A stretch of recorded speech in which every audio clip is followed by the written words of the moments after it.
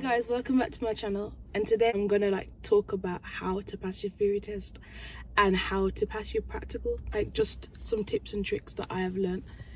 Yeah so let's get into it. So theory theory theory theory. And if you see me looking down have have had um yeah so theory. For theory there's an app that i'll try and put on the screen if i know how to do it it's called i think it's all like theory app i can't remember all in full theory app and i think there's a there's a blue one of it that literally helped me so much there's i know there's like two different versions i think from the DVLA. I think there's two different versions, but the one I well, the ones that I failed my theory test on were the ones in the red ones, but then the one that I passed was the one that's blue. So I used the blue one. I I would rate the blue one. I'd tell my friends about the blue one because I think the blue one's the better one but um yeah so literally if i just say every oh coming up every time i had a chance i would literally have the app on my phone and i would just when i was on the bus i'd literally when i was on the bus i'd literally just go into the app and i just look and go through it go through it test myself when i came home. I'd do the same thing i'd go through it i'd go through it and i'd test myself and then like what it was i did it out of 10 so there's 10 questions. And i thought like what i made sure in my head if i get at least 70 so yeah if i got at least 70 percent that for me means that i was gonna pass. Like if that makes sense. Yeah that that i just basically wanted to achieve higher than what the test was saying if that makes sense. So yeah definitely download that app. Definitely.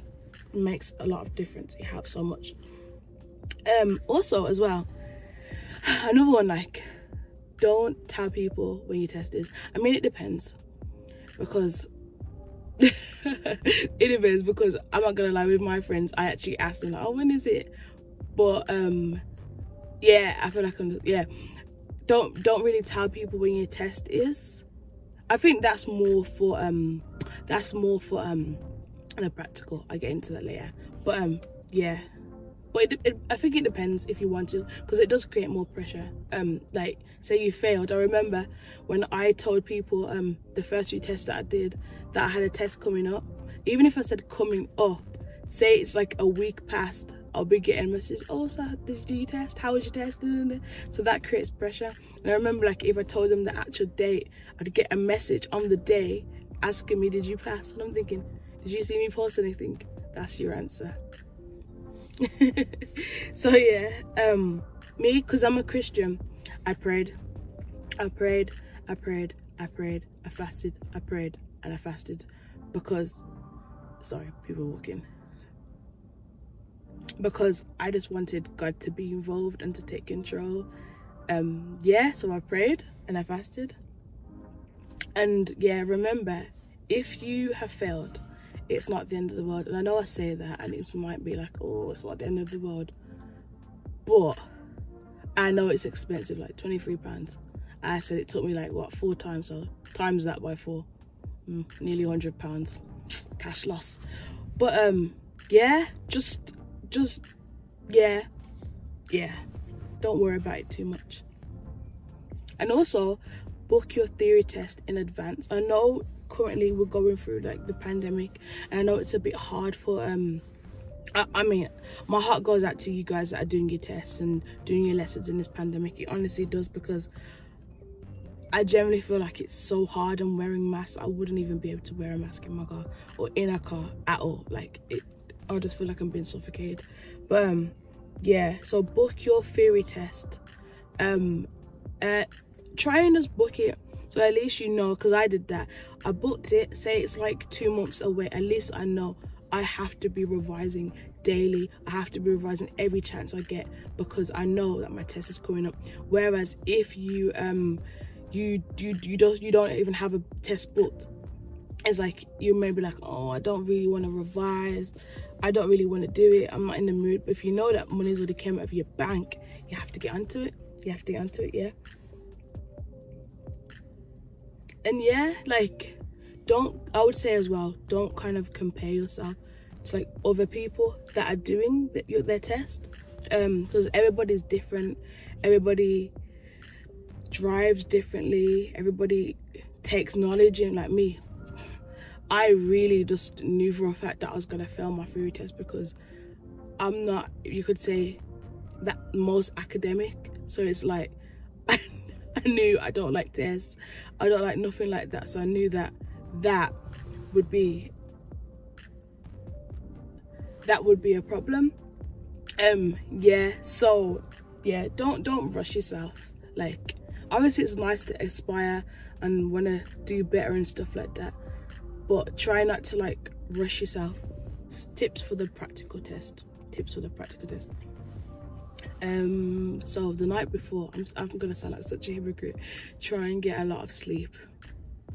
Didn't i just tell you guys that i was mashed on one of my tests? The test actually passed. Um but i would say try and get um sleep. Try and get at least seven hours whatever's whatever you would sleep and not feel tired. Um try and get that amount. Try and eat something in the morning. I know sometimes oh, i know sometimes that you might be um a bit you might feel a bit sick a bit nervous so you wouldn't really want to um you wouldn't really want to eat anything but try and eat something. At least drink water. Like that's what i did. I didn't technically eat anything in the mornings but i did drink water because as you guys know i like water and also what's good for you. And yeah so try and do eat or drink something. Even if it's just a banana apparently bananas are high in like potassium something like that. I don't know. I don't i won't go at math science either but something like that it's, it's good for something. God didn't make it for no reason. Um yeah. Also as well if you could get a test with a family member try and do that. I didn't have that. My brother lives in wales so that wasn't an option. But and also he drives an automatic car. But try and get like if you have somebody like say um a partner boyfriend girlfriend um anyone family member mom dad anyone that say oh yeah they can you can drive their car try and do that. I know uh, when it comes to like learners and stuff like that people don't really want to trust them with trust yeah trust them with their car because they're just like yeah you're more likely gonna um crash the car and stuff like that. Sorry if the lighting is going in and out. I'm filming outside. I'm trying to use natural light but the sun isn't really sunning at the moment. So i'm sorry about that. Um yeah. Also as well observations. Observations observations observations. They they're gonna basically do the most do the most. If they're gonna ask you to like check your mirror your head has to be doing this. Six point not six point ten looking at the back. Neck see outside that that blind spot other side mirror back all of that looking your rear. Like make sure you do the most because even though the examiner's going to be sitting right here. Like even if you look so if i looked right now they might not necessarily see that i looked into that mirror and they could give me a minor well give you a minor or give you a major depending on what the situation is because they'll say that you didn't use your um your mirrors even though you did and it's not like you can really fight them can you? You can't really argue back because they've said what they've got to say in it they've said it. So just make sure if you're gonna look in your mirror do everything when you do everything make sure you do the most. Just look and all of that. And at least I can see that you're you're doing your observations as well. And that's also for like maneuvers. Make sure you do bare observations bare just look everywhere. Because again they can't really mark you down for not doing what they asked you to do. So yeah um yeah also as well me even though I've passed, I still watch driving videos. If it's gonna help me like to drive better, like with hill starts, I still kind of struggle with hill starts sometimes. I mean, I've got a bit, I've gotten better from when I first got my car, but like, um, it's a good watch driving videos. The the driving videos, I'll try and link it below or put it on the screen. DGN driving, amazing. Oh my gosh, it's absolutely amazing. Um, there's world driving. There's so many different driving. I mean, they're based in London, but it depends on where everyone's watching this from. But like, there's so many different driving schools. You can literally pull it in YouTube. Driving driving mock tests oh my days it will literally help me so much that is literally all i did i'm saying literally so much but that's the truth i just watched binge i'm saying just i still do anyone looked at my search history on youtube it would literally be just driving videos like pretty much because yeah. It's always good to perfect your craft if you could say that just get better. Um yeah. And also as well when you're driving and you think you've made a mistake that might not necessarily mean you failed. So so you're driving and let's say you you curb you you drive on the curb. Okay if you drive on the curb you've definitely failed just saying that. But if you kind of if your wheels kind of rub against the curb that doesn't necessarily mean you failed. Um it might just be a minor i mean if you mount the curb then yeah. The, i'm saying that to say this.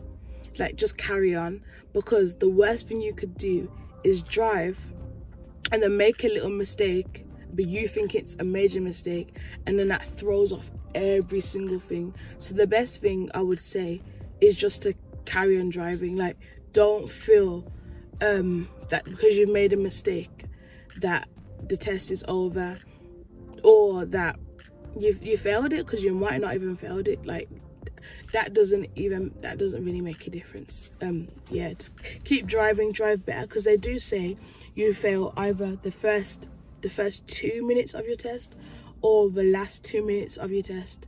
And that was obviously the case for one of the, my tests the last two minutes. Um so yeah. Don't drive don't try and drive perfectly. Don't try and drive perfectly because the examiners are not looking for perf perfection because we can't reach perfection can we? They can't even drive perfect.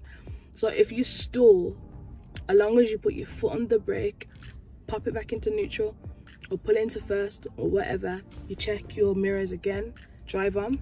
Long as you cover the brake because you don't want to roll back you don't want to roll into another car because that's when it becomes a serious literally. Yeah just don't try and drive perfect because when you try and drive perfect i feel like that's when you make mistakes because things like stall i still stall um yeah i drive a manual by the way. So like things like um stalling it's natural I mean, even professional drivers stall. So, well, instructors and stuff like that, they stall and stuff. People that have been driving for so many years, they still stall because, I mean, if you lift your foot too fast on the clutch, the car's gonna be doing its own thing, in it. So, um, yeah. So, take deep breaths. I actually did that. I literally stopped and I was just like low key hyperventilating, but I was taking deep breaths, like and it actually makes a difference. Also i asked to wind down my window a bit because also even now like when i drive i like to have the air coming in because even though there's the air come i like to feel the actual air. Um yeah. So that is a definitely good tip to wind down your window and stuff like that. Signs. When you're driving make sure you see signs because even on these mock tests that i've seen they'll be driving at like just before they get to a dual carriageway, they'll be driving at a 30 and then it'll get to a 40 and they're still driving at a 30 because they haven't seen that the signs have changed. So make sure you're looking to see the signs. Also as well, like say you are driving at a dual carriageway and you get off the dual carriageway, make sure you check the signs because it could really go back down to 30 and you've got a serious because you're driving too fast for speed. So that is, no, no, no, yeah make sure you check your signs guys. Check your signs. If you do fail the test it's not the end of the world. I know it costs a lot of money because the, the the price is obviously if you have your own car then you can use your own car. But normally the price is to hire the car so hire your instructor's car. That costs money. Then also you have to um obviously book the test. That costs money.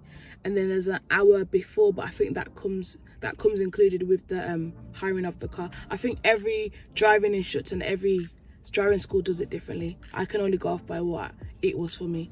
But um, yeah, so I know I was like, oh, it's not the end of the world. but that could be your last 62 pound in your account. Been there, been there, been there. But um, yeah. I hope you enjoyed my video. Sorry if I rambled on a bit. Don't forget to comment and subscribe. You know the vibe. Bye, guys.